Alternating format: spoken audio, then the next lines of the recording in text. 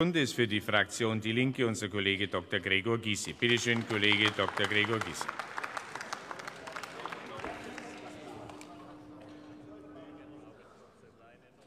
Herr Präsident, meine Damen und Herren! Also, wenn ich das richtig verstanden habe, fordert doch die Kanzlerin jetzt vor den Wahlen Folgendes. Eine Mietpreisbremse, die Anerkennung der Kindererziehungszeiten bei der Rente auch für Kinder, die vor 1992 geboren wurden, eine höhere steuerliche Kinderfreibeträge, die allerdings wieder den Besserverdienenden deutlich mehr zugute kämen als den anderen. Als Ausgleich für geringer verdienende Haushalte fordert sie die Erhöhung des Kindergeldes von 184 auf 219 Euro pro Kind und sie will mehr Geld für den Straßenbau.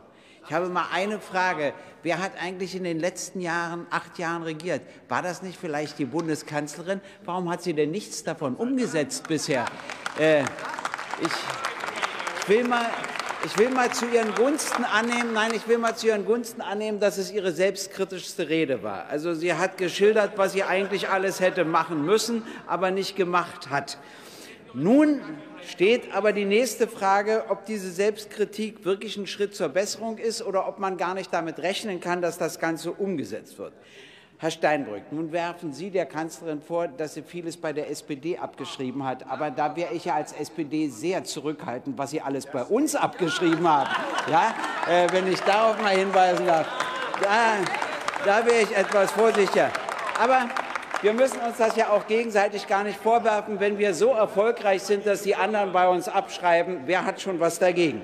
Nur, nur ich muss Ihnen auch sagen, was wirklich ernst ist, ist die Mietpreisbremse. Wir haben im Januar schon vorgeschlagen und auch beantragt, dass Neuvermietung ist kein Grund zu einer Mietsteigerung.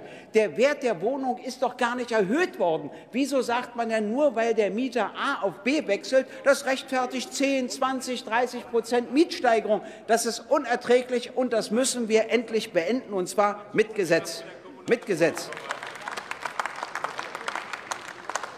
Aber ich habe ja gesagt, Herr Steinbrück, gibt ja noch eine Frage. Sie regiert ja schon seit acht Jahren. Ich meine, vier Jahre davon waren Sie ja dabei. In der Zeit ist davon ja auch nichts umgesetzt worden. Ich will das nur mal so am Rande kritisch, äh, kritisch bemerken, aber auch das kann man ja ändern. Und äh, ich frage mich allerdings beim Mietrecht, Herr Steinmeier, das haben Sie völlig zu Recht kritisiert, aber ich frage mich, warum haben wir nicht die Mehrheit aus SPD, Grünen und Linken im Bundesrat genutzt, das zu stoppen, wenigstens in den Vermittlungsausschuss zu schicken. Das haben Sie nicht gemacht. Und dabei ist eine Regelung, ich sage Ihnen, die ist rechtsstaatlich abenteuerlich, nämlich eine Zwangsräumung per einstweiliger Verfügung.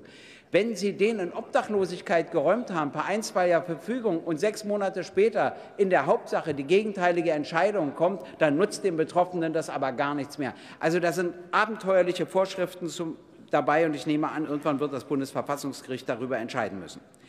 Aber die Vorschläge der Kanzlerin kranken ja im Kern an drei Problemen. Die Union will ja die Steuerungerechtigkeit aufrechterhalten. Sie schließen ja Steuererhöhungen für Reiche, für Vermögende, für Besserverdienende aus. Und da darf ich doch mal die Frage stellen, woher soll eigentlich das Geld für diese sozialen Versprechen kommen? Das Zweite ist die soziale Schieflage. Ich habe schon gesagt, Kinder von Menschen mit höheren Einkommen werden bevorzugt. Und das Dritte ist, dass die FDP gesagt hat, mit ihr kommt nichts davon in Frage aber die Kanzlerin ja sagt, sie will mit ihnen weiter koalieren. Das ist auch ein übler Trick, dass man immer jemanden an der Seite hat, der Nein sagt, um dann zu sagen, ich habe ja das Edle gewünscht, aber die FDP hat mich daran erinnert. Das sollten Sie sich nicht bieten lassen. Sagen Sie doch einfach mal, Sie sind auch dafür. Das wird spannend, dann können wir das ja noch im Juni beschließen. Aber die Kanzlerin folgt diesbezüglich Franz Müntefering und sagt, dass es falsch ist, Politiker an ihren Wahlversprechen zu messen. Aber ich sage Ihnen, das ist im Kern das Problem. Diese falschen Wahlversprechen, die nachher nicht erfüllt werden, die erzeugen Politik- und Demokratieverdrossenheit. Und dass sie nicht erfüllt werden, Herr Kauder, das haben Sie bewiesen im Fernsehen und Herr Schäuble.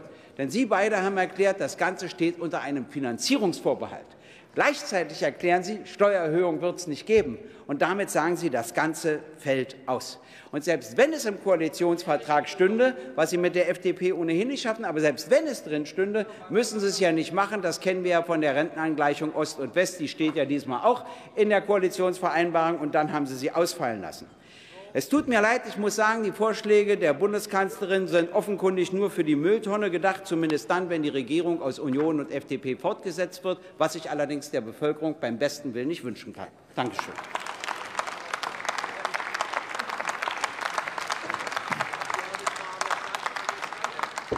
Nächster Redner ist für die Fraktion